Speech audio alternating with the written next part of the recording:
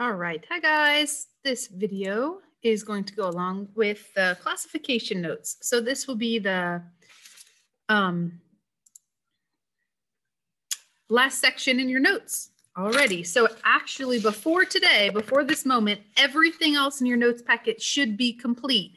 If you're flipping around and you're missing something, you need to go back, find it, and complete them before you go to bed tonight. So, all right, let's take a look at classification. These should be pretty quick. So first of all, if we just look at uh, the diversity of organisms here on Earth. So there are 13 billion known species of organisms, and um, that accounts for about only 5% of all organisms that have ever lived, right? So really you have to keep in mind also that what we see today is just a tiny fraction of what has already existed. Uh, new organisms are still being found and identified every single day. So the term classification is the arrangement of organisms into orderly groups based on their simil similarities. So you'll see today, and we'll do a lab in a couple of days, where you'll see like what the heck uh, characteristics they're actually looking at. Um, the term taxonomy is the field of science that does this. So, for example, there are plant taxonomists that actually just deal with organizing and classifying plants, or beetle taxonomists, or fish taxonomists, right? So that is actually in in and of itself a field of science where people are, you know, making uh, work in their careers. Okay, so the benefits of classifying organisms is that we can accurately and uniformly name organisms. Um, it prevents misnomers like the term starfish and jellyfish that aren't really fish at all. Um, and it allows science scientists to communicate. So um, because of our classification system, scientists can share data across the globe. So no matter what language they speak, every species that has been identified and classified has the same scientific name, no matter what language, which is really cool. So um, that allows for no confusion when it comes to talking about the species, a particular species. In this little hilarious comic, you can see that they're trying to identify this critter. One person calls it a skunk and the others have different words and they have no idea if they're on the same page. That looks miserable compared to, aha, Mephitis mephitis. And now they're all on the same page and then they know they're talking about the old striped skunk. Uh, so Carolus Linnaeus in the 1700s is responsible for our current classification system. So again, this was in the 18th century. Uh, he classified organisms based on their structures. And keep in mind that there were other scientists that were trying to organize organisms, but no one did it as well and as effectively as Linnaeus. And in fact, his system is still what we use today.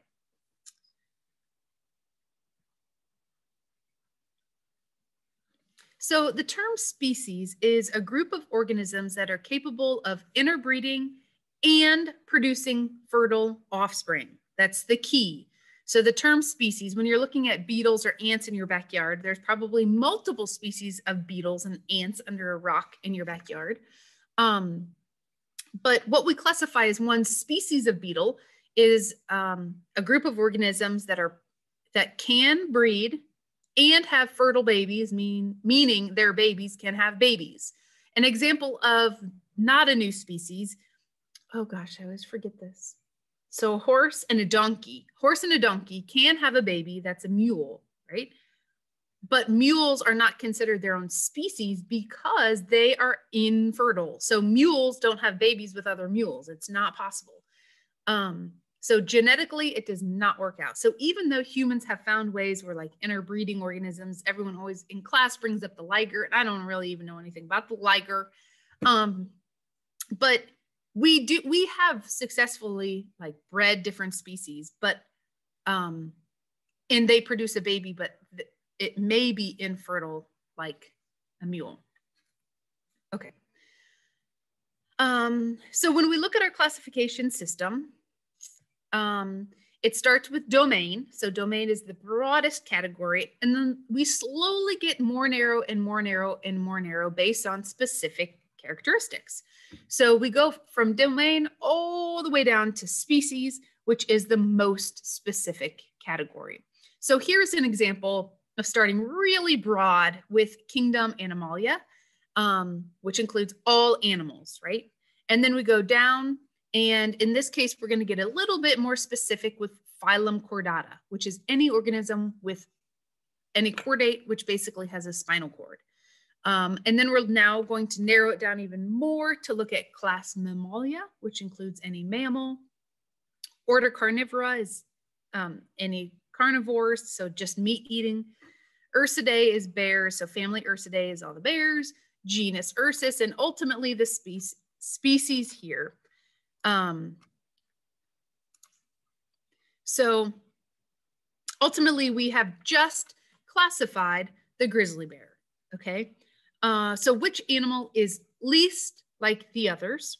That would be the one that get, got kicked out the first. So if we go way up here, that old sea star is considered to be an animal, but it got kicked off to begin with because it didn't, it is not considered to be a chordate. So it is least like the others, which is more like a grizzly bear. So now let's go all the way down to the bottom. Here's a grizzly bear, and we want to know if it's the red fox or a squirrel. So which one was basically kicked off first? Well, if we go up here, here's the red fox, here's the squirrel. At this point, the squirrel got kicked off, but the fox continued to order carnivora. And so in that case, we would say that the grizzly bear and the red fox are more closely related. Can a black bear mate with the grizzly bear? No, right? So keep in mind, you know, um, they have to be the same species in order to mate and have fertile offspring. Okay, so binomial nomenclature is the naming system. So every organism, every scientific organism has be, been given a scientific name. Um, and that system is called binomial nomenclature. Um, it's a two word, every organism gets a two word name. The first one is their genus, and the second one is their species. It is italicized in print and underlined when you're writing it. So if you're writing it with your little handwriting, you'll underline scientific names. And if you're typing it, you'll make sure that it's italicized. The genus is capitalized, but the species is not. So let's look at some examples. So over here on the right, you can see the common name of this little beauty, which we have all over Kettering right now, are, is American robin. So this is an American robin. Um, that's the common name. The scientific name is Turdus migratorius. You can see because it's typed, it is in italics, and the genus is capitalized and the species is not. Here are uh, three more examples of common names. So we have the giant panda, the polar bear, the grizzly bear, and underneath it is their scientific name. So you'll notice that there is a genus and a species for each one of them. They are all in italics. Uh, the genus is capitalized and the species is not. Just by looking at the scientific names, sometimes you can tell which ones are pretty closely related. So guess which two are more closely related? So here are three bears, we call them bears, um, but two of them are more closely related than the other. And in this case, you can see it's going to be the polar bear and the grizzly bear because they're in the same genus. So these two are in the same genus called Ursus. Okay, there is um, a special type of chart that I actually hadn't seen until recently. And they're all over their test. And I don't know why. No one, none of the bio teachers here understand why. why. But here we go. We're going to get a healthy dose uh, before their test of cladograms. So cladograms are diagrams that show how organisms are related based on shared derived characteristics such as feathers, hair, scales, things like that. So here's an example of a cladogram. Again, I, on, I had never seen one until a couple years ago, but here we go. So uh, what we see here is they, they're organizing these organisms based on specific characteristics. Um, and I think of it as organisms like getting kicked off if they don't have that trait. So all of these organisms start here. I like to start on the bottom and I kind of read it up the cladogram like this. So when I get to vertebral column, only the organisms with a vertebral column can continue. In that case, the lancelet gets kicked off. So all of these organisms have a vertebral column. The next trait we're looking at is jawbone. So when we move up to jawbone, anything without a jawbone gets kicked off, which is going to be this lamprey, okay? Uh, the next trait is four-legged locomotion. So that grouper gets kicked off, which is a fish, and we move on, so forth and so forth. So the only one of all these animals that has all the traits is the wolf, right? So the last trait there was hair. And that poor that poor turtle had been trudging along and got kicked off with the last trait, which was hair. Okay, so here's that same cladogram. How are lancelets different from all the others? So lancelets um, don't have vertebral column. Uh, what do salamanders have that groupers do not? So salamanders have four-legged locomotion and groupers do not. What's the difference between turtles and salamanders? Well, um, salamanders do not have amniotic eggs. And which one is most closely related to the wolf? So um, on these cladograms, typically you'll see that the ones that are physically more closer, that physically closer together will be true, you know, genetically closer together compared to these organisms. Um, so in this case, with these traits, a turtle, the turtle is more closely related to the wolf than the others. Um, here's a primate cladogram. Again, we, everyone in my head, I start here at the bottom and move up. And if we don't have that trait, you kick it off. So the first trait here is, actually, sorry, there's a list of things, right? And the ring-tailed lemur gets kicked off.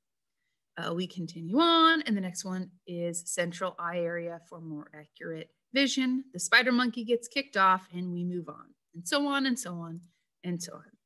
Um, let me go back to this one really quick to just show you that in this case, with these traits, the chimpanzee is most closely related to a human than the other organisms.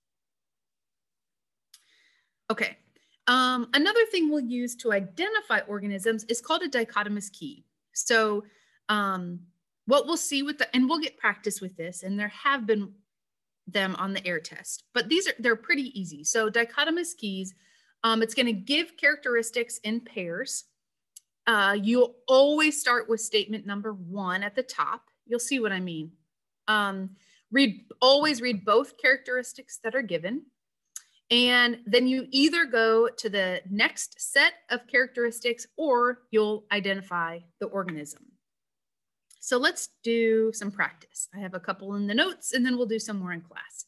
So here's an example of a dichotomous key. This one happens to have four questions. This one's really tiny. Um, I always like to, to put in perspective because this is so tiny.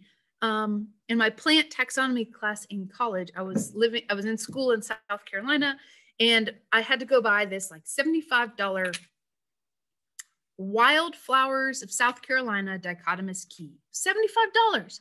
I don't know what the heck that could possibly look like. So I get to the bookstore and it was this huge, I'm not kidding you, was this thick of a dichotomous key of wildflowers in South Carolina. So that is obviously a huge dichotomous key, but you could plop anywhere in the forest of South or anywhere in South Carolina. You could plop and identify a wildflower. So um, this is very simplified. So here we have four questions.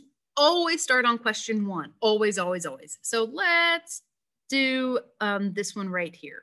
This organism on the very bottom right.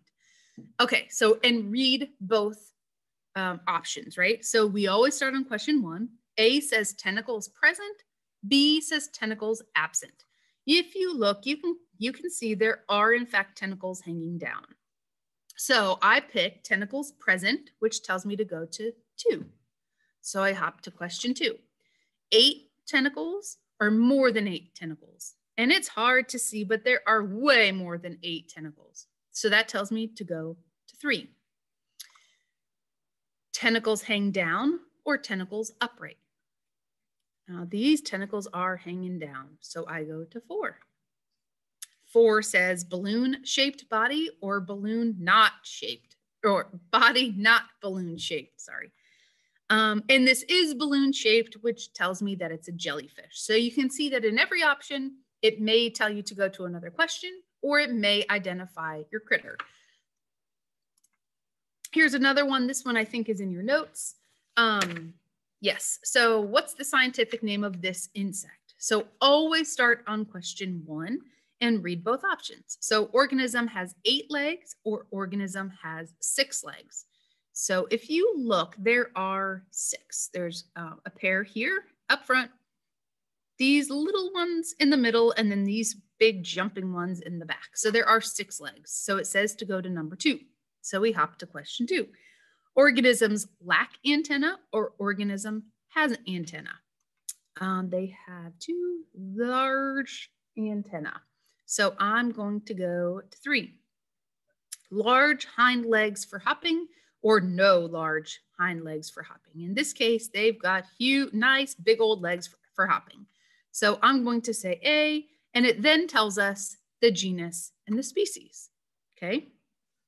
So in your notes, you can write in this animal is and practice writing the scientific name. And remember to underline it also, since you're writing it in your own little letters. And I think that's it. So uh, you should have completed your notes packet, should be totally completed.